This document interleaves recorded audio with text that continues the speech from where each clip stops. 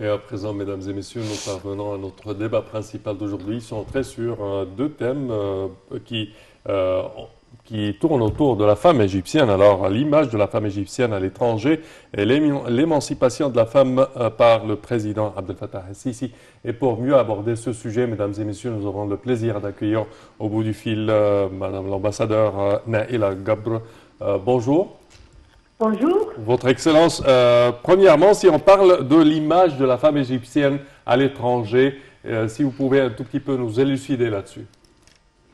L'image de la femme égyptienne est assez positive parce que euh, quand on parle de la, de la femme égyptienne, alors à l'étranger, on pense des, des reines égyptiennes, des, des, statues égyptiennes, des temples égyptiens où il y avait les femmes auprès des hommes, euh, dans toutes les, gravures sur les temples égyptiens. Alors, on parle de Hatshepsut, de Nefertiti, de Nefertari et euh, de Cléopâtre. Alors, alors voilà, la, femme égyptienne a une image assez positive dans, dans, l'étranger. Et quand ils voient actuellement les diplomates égyptiennes, alors euh, elle est de plus en plus positive. disons, si vous voulez, un exemple qui est très récent, moi, j'étais dernièrement à, Genève euh, en tant qu'experte des Nations Unies pour les droits de, la femme. Et il y avait la, discussion euh, du rapport égyptien périodique. Et ce rapport a été très bien accueilli. Soit la délégation était très bien accueillie, hmm. et aussi le, rapport, en tant que rapport, était bien accueilli, euh, vu le, contexte du rapport, les informations contenait le, rapport. Alors voilà, c'est un exemple concret qu'on a vu récemment, dernièrement, euh, aux Nations Unies à Genève. Mhm. Euh, je, peux, je peux vous ajouter une chose. Hier, euh, nous avions des, un, entretien dans le cadre de la pour le statut de la femme à New York et nous avons participé. Docteur Amaya qui est présidente du Conseil de la femme, a participé, moi-même. Euh, oh oui, docteur Hala Saïd, notre ministre euh, de, la planification et du plan, a participé. en parlait de l'empowerment économique de la femme pour euh, faire face à la, à la, pauvreté et pour assurer le développement du pays. Hmm. Voilà, c'est ça l'image de la femme égyptienne et c'est là la participation de la femme égyptienne dans les instances internationales. Mhm. Puisqu'on célèbre la femme en général durant le mois de mars, pas seulement euh, la femme égyptienne, euh, comment vous voyez le rôle euh, de la femme aujourd'hui devant plusieurs problèmes, plusieurs catastrophes comme la pandémie du Covid-19, comme les problèmes économiques, comme les guerres. Comment vous voyez le rôle joué par la femme partout dans le monde? Euh, en tant qu'experte des, des, Nations Unies pour les droits de la femme, vous savez que j'ai été élue et réélue pour six mandats, c'est-à-dire euh, je suis aux Nations Unies en tant qu'experte élue euh, de la CEDEF, le Comité mhm. pour la discrimination, l'élimination de la discrimination à l'encontre des femmes.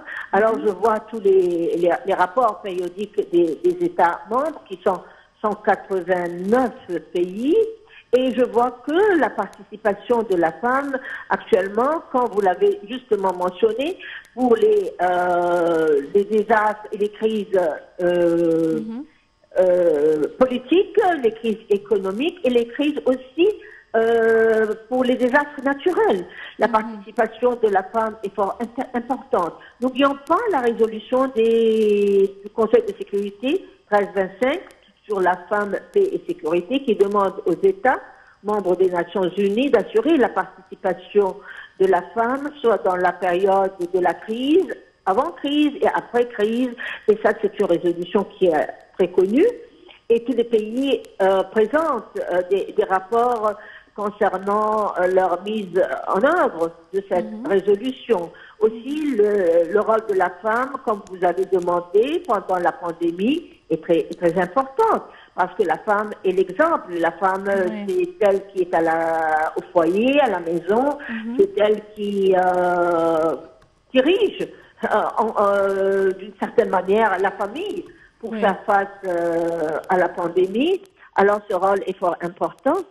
Et n'oublions pas que ce rôle primordial de, de la femme s'élève à, tout, à tous les niveaux, à toutes les échéances. Euh, sinon, on perd la moitié euh, de, de, la force euh, de la société si on néglige le rôle de la femme. Mm-hmm. Voilà. Oui. Euh, également, si on parle de euh, la femme euh, récemment en Égypte, depuis la révolution de 2013, on, parle d'un rôle éminent dans la lutte pour l'Égypte, je dirais. si vous pouvez un tout petit peu nous élucider là-dessus. Oui, le rôle de la femme euh, en Égypte actuellement est un rôle prépondérant. Et regardez la participation de la femme, la composition du cabinet, le nombre de femmes ministres euh, au Conseil des ministres, le nombre de, de femmes au Parlement. J'étais récemment au Parlement. Il y a aussi les jeunes euh, parlementaires, un nombre assez important. Les femmes sont, sont partout. Cela est fort important. N'oublions pas aussi des initiatives présidentielles concernant le rôle de la femme, concernant ce qu'on appelle le, planning familial, comment maintenant euh, organiser euh, les grossesses des femmes et le nombre d'enfants dans la famille. Cela est fort important. Mmh. Euh, le, le, rôle de la femme aussi, le respect de la femme. Ça, c'est très important.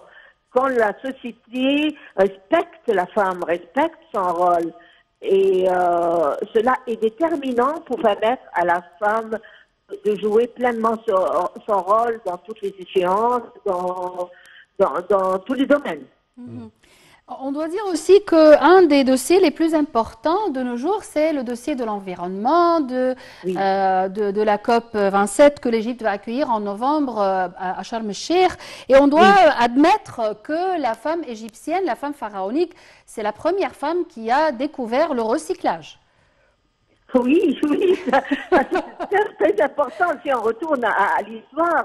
Euh, la femme la femme égyptienne euh, dans l'ancienne Égypte, euh, elle, elle euh, participait pleinement dans, dans, tous les domaines. Et quand vous avez parlé, le respect de la nature et l'utilisation du potentiel de la nature euh, dans le foyer, dans la médecine, dans le maquillage et euh, aussi oui dans le recyclage. Vous n'avez pas raison.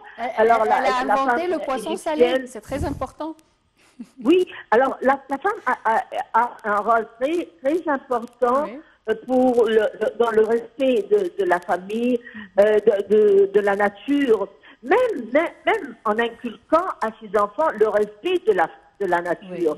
Euh, quand tu, tu, vois une fleur dans le jardin, c'est une vraiment, tu, tu, la regardes, tu la dessines, mais tu vas pas couper ou arracher la, la fleur immédiatement. Tu respectes les arbres, tu, tu respectes tout ce qui est nature. C'est très, très important. Oui. Oui. Euh, ambassadeur Ella Gable également, si on parle de la diplomatie égyptienne, euh, la femme euh, euh, participe et fait partie de ce corps diplomatique égyptien depuis des décennies. depuis Rodal Maros, oui, oui, oui. Oui, aujourd'hui, on, parle du centenaire de la diplomatie égyptienne. la femme fait partie intégrante de ce corps. Oui, oui, vous savez, nous avons participé en tant que diplomate euh, à, à, tous les travaux. C'est-à-dire, moi, par exemple, euh, j'ai été la, la, la, première directeur des droits de l'homme dans les affaires étrangères égyptiennes. Et euh, j'ai construit, j'ai bâti euh, ce, ce département. Et j'ai été ambassadeur en Afrique, en Afrique du Sud, au Botswana, au Lesotho et aussi, j'ai participé dans les instances internationales euh, à Genève. J'étais jeune diplomate à Paris. Après, j'ai été euh, ambassadeur, représentant permanent aux Nations Unies euh, à Genève. J'ai participé à, à, plusieurs échéances dans la francophonie, dans le désarmement, dans les négociations pour le Trade Negotiations pour le commerce international, etc. Après, je suis devenue assistante du ministre pour tout le multilatéral.